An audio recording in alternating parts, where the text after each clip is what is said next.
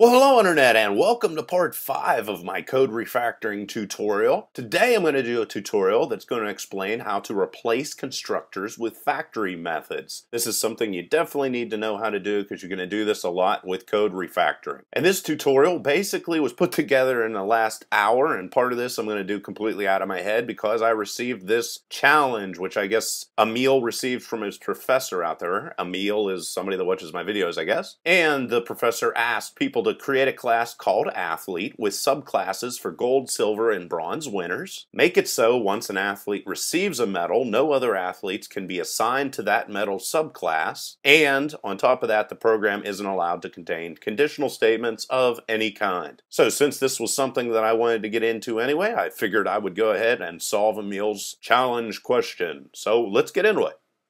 All right, so here I am in Eclipse, and the first thing I'm going to do is I'm going to answer the challenge question here after I do this. I'm going to show you how to replace constructors with factories. And what I'm going to do is I'm going to have a class called customer2, and it's going to have a bunch of other customers that are going to be rated based off of whether they're premier, valued, or deadbeat customers, meaning how soon they pay their bills, I would guess. And I'm actually going to show you this in two different ways. So, this is going to be a customer customer rating system. And I'm going to have things, at least for now, until I change it and make it a lot more dynamic. I'm going to have the information passed in regards to what type of customer they are based off of these final variables and they are going to have a number assigned to them. I'm going to show you a much cooler way of doing this very dynamically here after I do it this first way. And then I'm going to need to get my getters and my setters for customer rating. So just because I showed you this before, might as well do it again. Here's source,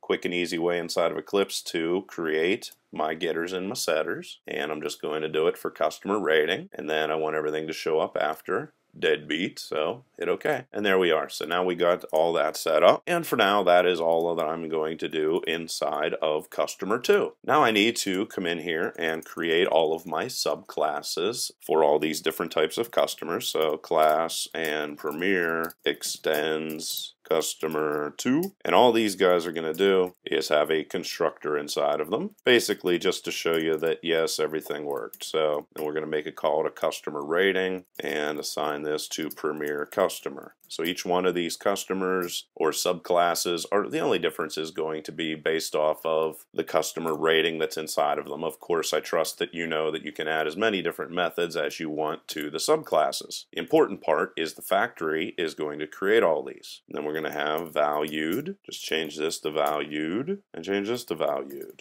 So these are all my subclasses. And all the code is available in a link underneath the video. And here is my deadbeat and and I deadbeat. I just mean they don't pay their bills. That's all. I don't know why. A lot of times I just come up with these things right out of my head. So, and now we need to create our customer factory. The factory design pattern is extremely simple. Basically, all that we're going to do here is it is going to create a bunch of subclasses based off of a message that is sent of a specific superclass. That superclass being customer 2 and those subclasses being deadbeat, valued, and premier. So I'm going to break the rules here for a second in regards to the question that was passed over to me, and I'm actually going to use a switch statement. In a second, I'm going to show you how to avoid the switch statement and make all of your code much more dynamic. And very often I write bad code on purpose so that you see what not to do, or if you see yourself doing something, you go, oh, wait a minute, I did this and there's a better way. And then of course you can refer to the code and make it better. So I'm going to go customer type this is going to be passed one of those integers. And then I'm just going to say in here, case, and in this situation, this is going to be return new premiere. And then I'm basically going to do exactly the same things for the other options. This is going to be 1, and this is going to be 0, and this is going to return a valued object and this is going to return a deadbeat. And then we could do something like default and throw an illegal argument exception, which just basically means that they didn't follow the rules. They did not enter a 0, 1, or a 2. Customer type And now what I'm going to do is come up inside of customer 2 just for the heck of it and create main inside of here just to test it. So what do I need to do? Well, I need to create my factory that's going to spit out the right objects based off of the information that I send. So I'm just going to call it customer factory is equal to new customer factory. Now that I got that all created, I'm going to go customer 2 to call this factory and I'm going to define my good customer and that is just going to be equal to calling the customer factory get customer and then passing it. This is good customer. I'm just going to pass it premier in this situation, right like that. And you're going to see here that it dynamically went in there and created that. So I'm just going to say customer rating, good customer, and I can just come in here and click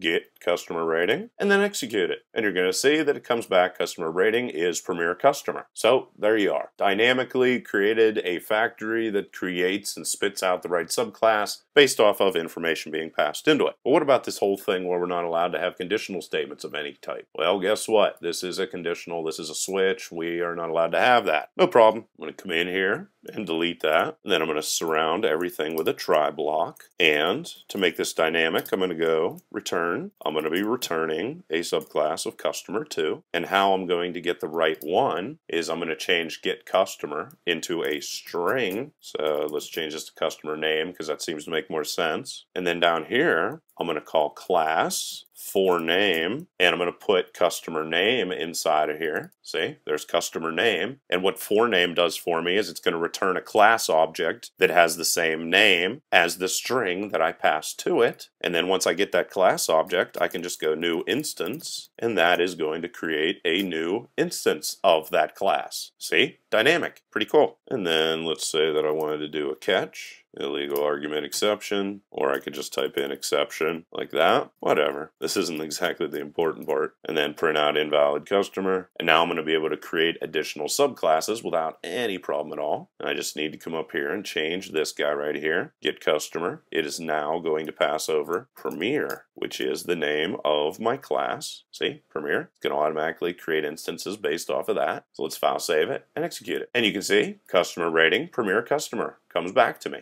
So pretty cool. However, if they would type in deadbeat, just dynamically, just by changing this one thing here, file save, execute, you can see customer rating, deadbeat customer. So there you are, dynamically, automatically generating subclasses using a factory instead of the normal constructor way of handling it. So now let's get back to solving Emil's problem that he sent me. Now basically what am I saying here? As I read this, create a class called athlete with subclasses for gold, silver, and bronze winners. Okay, well that's kind of generic. It's not really a big deal there. Then I see here the program isn't allowed to contain conditional statements. Okay, well you know how I'm going to solve that. Now this is the part that I haven't covered yet. Make it so once an athlete receives a medal, no other athletes can be assigned to that medal subclass. Well that means to me singleton. That's the singleton pattern. So that's what I'm going to use to create or solve this challenge. And if you haven't seen my factory or singleton design pattern tutorials, I provide links to them above. So now let's just jump in here and let's start writing some code. So I need to create an athlete class not a problem. And private string athlete name, and I'm going to assign that. And then I'm going to come in here and create my getters and my setters generate getter setter, athlete name, okay, there we are, got that all done. Now, since I know I'm going to use a singleton, and all a singleton is going to do is it is going to be a subclass that is only going to have one instance, and only one instance, ever. So, how we do that is go public static athlete get instance and for this guy since it's never actually going to be called I'm just going to have it return null and that's all that I'm going to need to do for that right now. Then we need to create our subclasses. Like I said before all this code is available in a link underneath the video. So gold winner extends athlete. And then I'm going to create a private static because these guys are only ever going to have one instance. I need a way to track whether an instance of this gold medal winner has ever occurred before. So I'm going to set it as null in the very beginning. Then I need to create a constructor and set it to private to keep other classes from being able to create an instance of the gold winner. Because remember, it said once a gold winner has been designated, there can no longer be any more gold winners. But I'm going to need to construct these objects myself, so I do need this constructor inside of here. And for this one, I'm just going to set athlete name to whatever the athlete name is. There we are. And then this guy down here is what will be called whenever we need to create our one instance of the gold winner. So gold winner, get instance.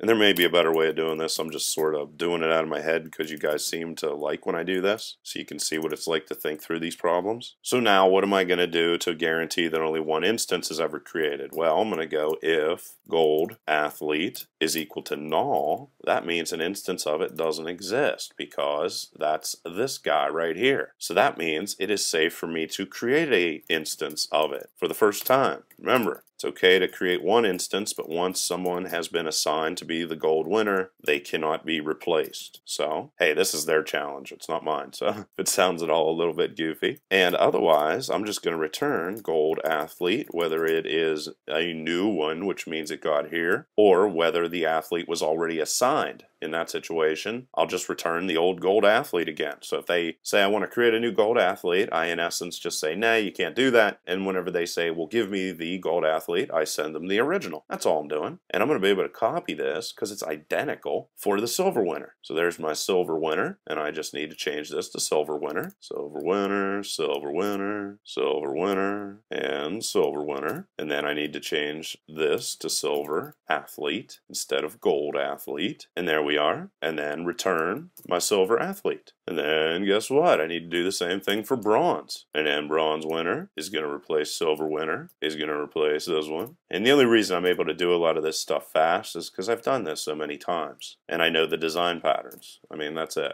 Another benefit of design patterns, once you figure out how to solve something one time, you can just pull that out of your head and do it again and again. And bronze athlete, and bronze athlete, and bronze athlete. So there you are. Doing pretty much the same thing we did in the first code that I wrote here. And now I need to create my medal factory. So new class, medal factory. And all it's going to do is spit out the right subclass based off of the type of subclass that is asked for. And we're going to do it in the same way that we did it previously. So get medal. And I'm going to do something a little bit cooler here though. So get medal type. And let's say that the athlete's name is passed in as well to my factory. Then I'm going to do another try block just like before. But then I'm going to need to make a call to a very specific method. Now, if I was just creating a constructor from this, and I could just call the constructor, that would be cool. But I'm not allowed to do that. I have to call get instance. Now, it doesn't sound like that's tricky, but it kind of is. I'm going to use reflection in this situation because I can't think of any other way, like right off the top of my head, how to do this. So basically what I'm going to do is I'm going to need to make an instance of this method, get instance, and I'm going to need to call it and pass the string is the athlete's name, and then generate all my subclasses from that point on. If anybody out there could think of a better way, I might think of one 10 minutes after I'm done with this. So if I want to use reflection, what I need to do here is define the type of parameter that will be passed to the method that I'm going to create here in a second. And that method is going to be get instance. See? So what type of data am I going to be sending? I'm going to be sending a string. So I need to set that up inside of this. And I have a reflection tutorial if you guys want to look into this further or just leave a question below. Believe me, I use reflection all the time, so feel free to send me questions.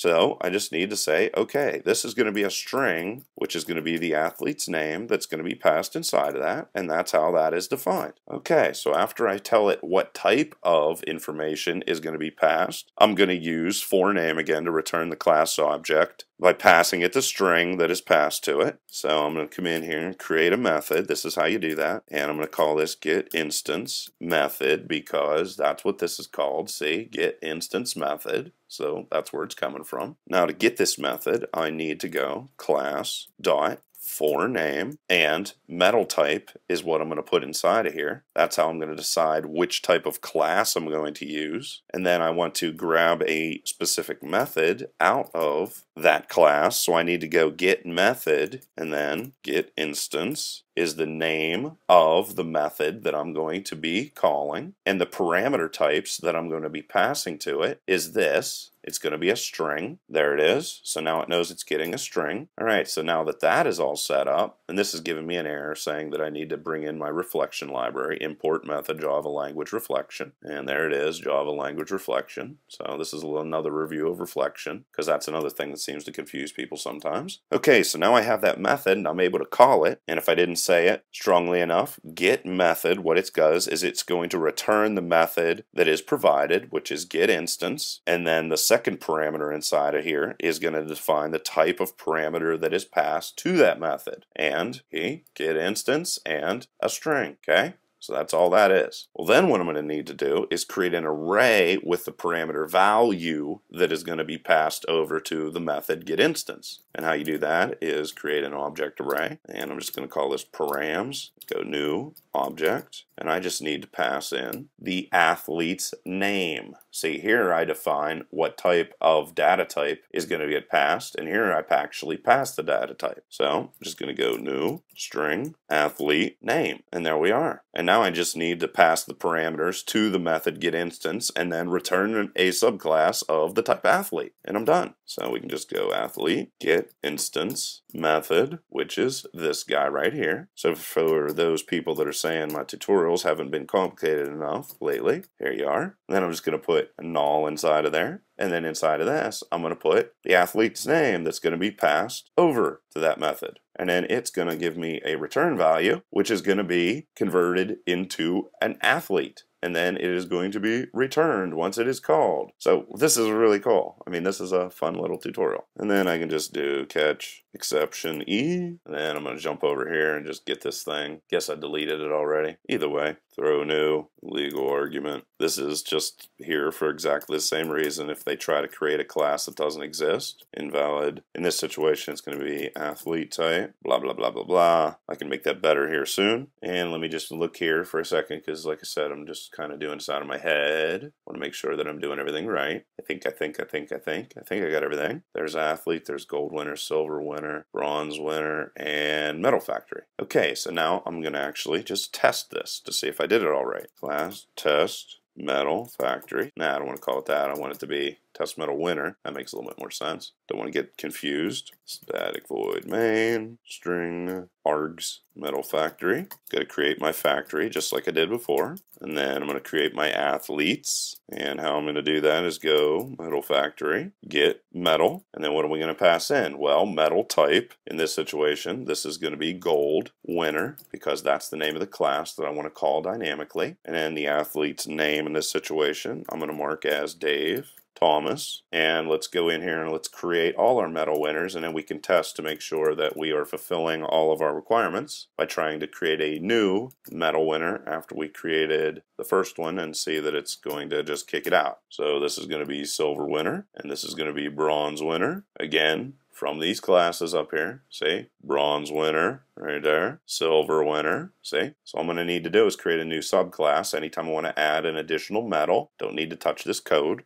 And there's bronze winner. And let's just throw some random names in here. About Mac, Mick, Donald, and the last guy can be David Edgerton. And I'm picking those names for a funny reason. See if you can figure it out. And then let's say that I want to come in here and print out a new gold winner. I want to try to create a new gold winner. Well, we're not supposed to be able to. I'm going to put gold winner new, and then inside of here, I'm going to leave this be gold winner, just like before. And then here, Ray Kroc, is going to go in there. So if I didn't do this in any special way, there should now be a new gold winner or two gold winners. And now I can go gold winner and gold winner. And you can see get athlete name is what I want to shoot out on a screen. And then I'm going to do the same thing for my bronze winner or my silver winner first. And then my bronze winner and my silver winner and my bronze winner. And let's file save it, execute. And it didn't call the right one. So what I need to do in that situation. This is good because I get questions like this all the time. I want to execute test medal winner. I just click on it and then come down here and click on run as Java application. Click and you can see gold winner comes back as Dave Thomas and then just like I have it defined here. Mac McDonald, again, silver, and bronze winner, David Edgerton. Now, what happened with poor Ray Kroc down here? Well, you might be saying, well, the reason why it didn't come up that way is because here you defined gold winner new, and there it's gold winner. Eh, not really. Because here I'm going to type in gold winner, new, file save, execute it again, and you're going to see that Dave Thomas, Mac McDonald, and David Edgerton still have their medals. So there is a rundown of some things to think about. If you didn't quite catch everything, don't worry about it. You can either leave a question or comment below, or I'm going to be covering these topics in future tutorials. So feel free to leave a question, comment, or request below Otherwise, till next time.